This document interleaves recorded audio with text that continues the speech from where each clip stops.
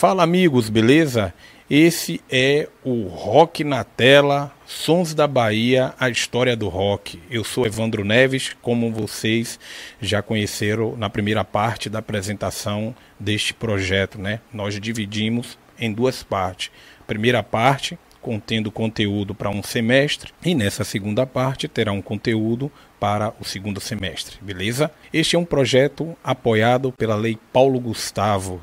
Eu queria agradecer aí a todos da Secretaria de Cultura que tornou possível né, a gente estar tá tendo essa oportunidade de expressar a cultura e a arte em nosso município de Lauro de Freitas. Bom, como vocês viram no primeiro quadro, fizemos uma breve contextualização sobre o surgimento do rock na Bahia né, entre os anos 70, 80, 90 até os dias de hoje, né, com influências locais, né, destaque para artistas que contribuíram para a formação do cenário do rock baiano, né, e nesse segundo quadro, a gente vai trazer uma performance né, de dinâmica com entrevistas né, ao vivo, como foi é, no local. A gente vai trazer trechos de, gravação de shows, né, de performance ao vivo de bandas.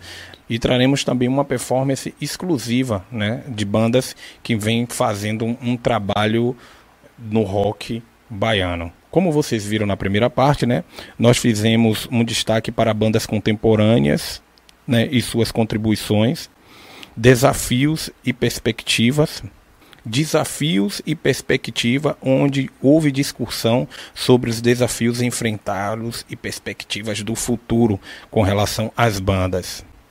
Então vamos lá, galerinha, para essa segunda parte da jornada, Rock na tela, Sons da Bahia, a história do rock.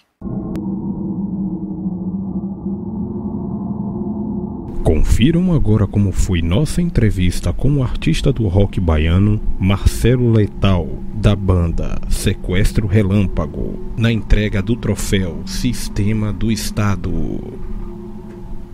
Minha parceira aqui, Karina Barbo. Chegue mais, Karina. Uma, uma canção chamada No Rastro de um Beijo Roubado. Essa canção teve uma boa execução, é, já está disponível em todas as plataformas digitais.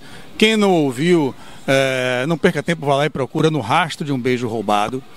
E lancei também, junto com a Sequestro Relâmpago, banda da qual faço parte, uma canção que serviu como um, um, um presente de Natal e foi lançada no Natal, que é Amor Barato.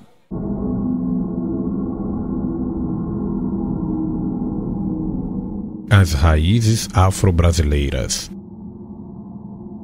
O rock na Bahia é profundamente enraizado nas tradições afro-brasileiras, refletindo-se tanto na música quanto nas letras das bandas locais.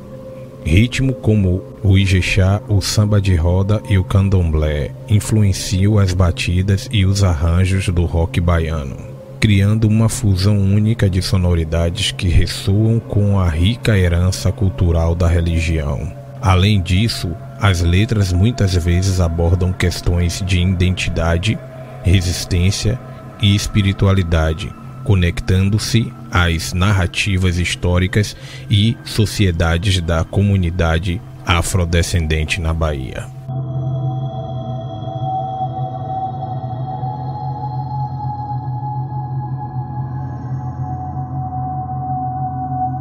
Então, galera, esse projeto é um projeto extremamente importante e inclusivo. Eu fiquei realmente satisfeito né, com a política que foi aplicada para a Lei Paulo Gustavo, contemplou artistas de diversos gêneros, né, dentro de categorias como a música mesmo, o rock e o hip hop aqui em Lauro de Freitas também é forte, é né? muito forte.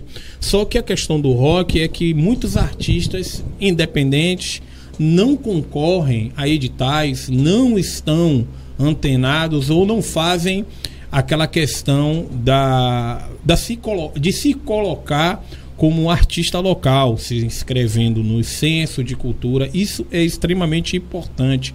E esse projeto é um projeto muito importante porque trouxe uma certa inclusão né, não somente no gênero música, mas também nos subgêneros, né, como rock, eh, como reggae, que são estilos que já estão aí um tempão e fazem parte não somente da cultura mundial, mas também na cultura nacional, né, em memória ao nosso queridíssimo e saudoso Raul Seixas. Não devemos esquecer jamais que o rock baiano foi o rock né, representado por Raul Seixas, não somente no Brasil, mas a nível de, de mundo. Né? E a gente sabe da importância dos artistas locais do nosso município de estarem se inscrevendo no Censo de Cultura para poder participar.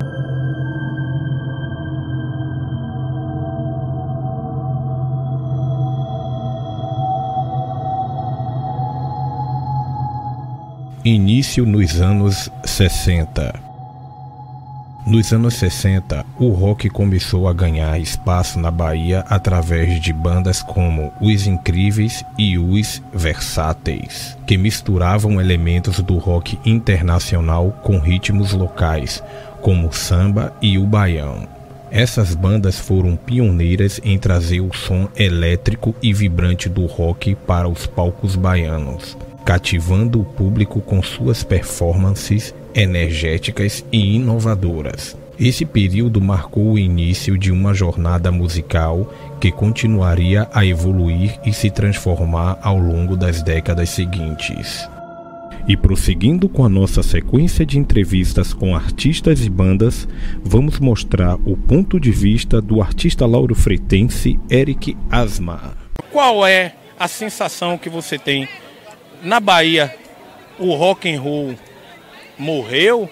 Muita gente pergunta isso. De forma alguma, de forma alguma. Isso é uma coisa, enfim, uma visão muito estreita quando as pessoas afirmam esse tipo de coisa, porque toma o que é mainstream, o que é grande mídia, como um conceito universal, quando na verdade não é, né? O rock sempre foi resistência, sempre foi uma coisa que caminhou à margem. Em alguns momentos da história teve muito rock and roll mainstream. Hoje em dia a gente sabe que ainda tem os clássicos, os, os artistas de rock que lotam o estádio. Mas a prova de que ele está vivo é que qualquer lugar do mundo que você for, tem algum bar, tem algum lugar com pessoas tocando rock and roll.